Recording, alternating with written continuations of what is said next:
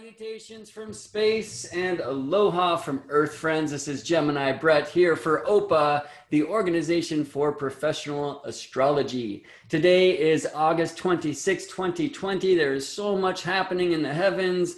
Aries, Mars, square Capricorn, Saturn, Cancer, Venus, opposite Capricorn, Jupiter, and applying to trine Neptune in the sign of Pisces. But friends, it is Wednesday, Miercules, Mercury's day, and Mercury's at home in the sign of Virgo. Today, receiving a waxing square from a Sagittarius moon. Let's talk about the tense truths of the fabric of reality. You heard a riff from the great song by the great Biff Smith called Triskaidekaphobia, the fear of the number 13 have no fear. I'm not here to dive into the 13th sign thing again, but I want to talk about some 13s and 12s in regards to the sun and the earth and the moon. You've maybe heard that there's 13 months a year. So that 13 is the number of the moon. Well, not really.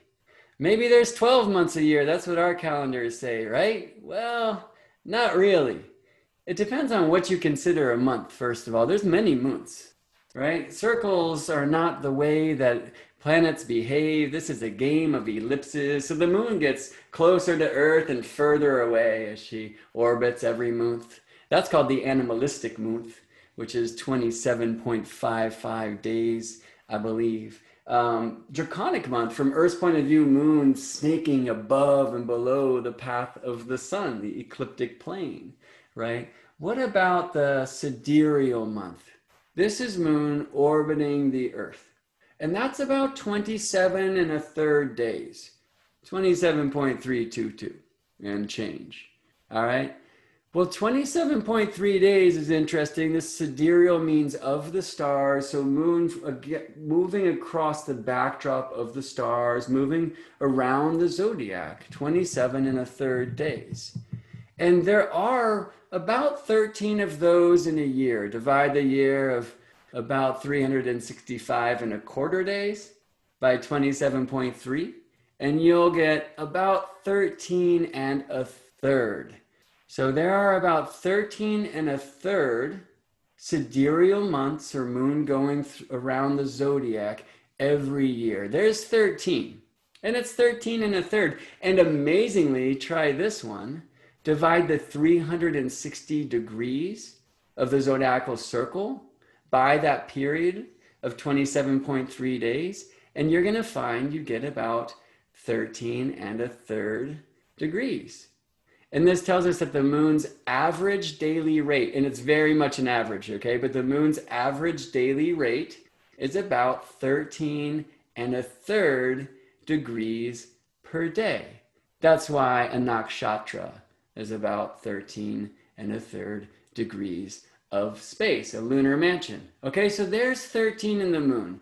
Moon's average daily pace, 13 degrees a day, or 13 and 1 over 3, 13 and a third. And moon circles the zodiac about 13 and a third times per year.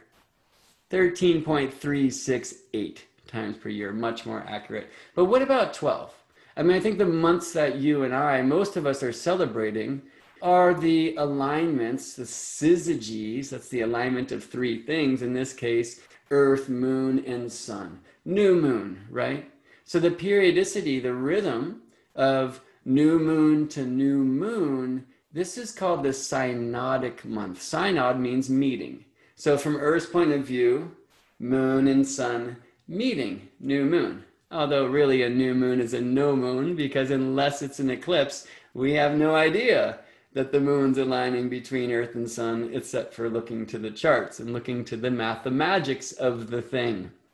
Anyway, Earth, Moon, Sun, new moon to the next new moon, about 29 and a half days, which is why the great old lunisolar or soli lunar calendars like the Babylonian calendar, which is now the Hebrew calendar, the Chinese calendar, they alternate between months of 30 days and 29 days to keep that 29 and a half day pace. And they can't do it exactly because it's actually 29.53059 and we could go on and on but just be here that it's about 29 and a half days and if you divide the year by that number you'll find that there are about 12 and a third moons per year. So sometimes we have 13 new moons in a calendar year like this year of 2020 where we had two cancer new moons right?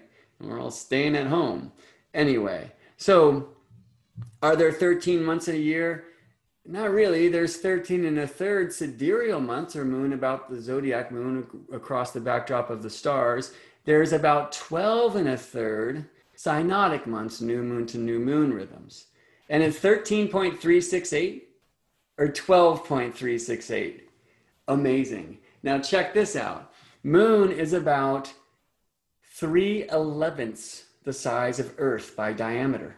The diameter of the moon, 2160 miles. There's 2160 years in an astrological month, one month of the great year, an astrological age. What? The moon's radius, 1080 miles. All right? And the atomic weight of silver is 108. I could get into the 108s all day. Let's save that for another video. But let me just do this 3 11ths thing. The moon is 3 11ths the size of Earth by diameter. If you divide 3 by 11, you get 0.27272727. Move the decimal, it says 27.3. The days in a sidereal month. If you divide 11 by 3, you get 3.66666. Move the decimal, 366, which is the amount of time that the Earth spins in a year, a sidereal year.